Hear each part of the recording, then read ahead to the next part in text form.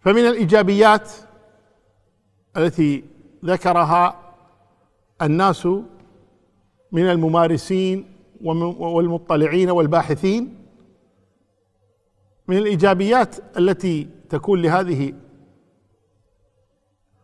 الوسائل صلة الأرحام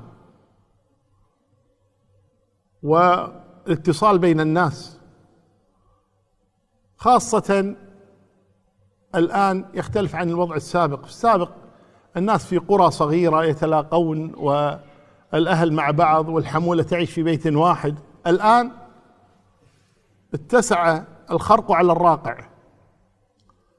فيكون بينهم من الاتصال عن طريق الفيديو عن طريق الواتساب عن طريق الفيسبوك عن طريق آه، أي وسيلة من هذه الوسائل يتم التواصل بين الأقارب. واحيانا مع المسافرين خاصة إذا كان لعلاج أو دراسة أو ما شابه ذلك يكون هناك تواصل بينهم. بعض الأهالي القريبين بعض الذي لا يملك وسائل آه، آه، النقل مثلا يتواصل عن طريق هذه الوسائل.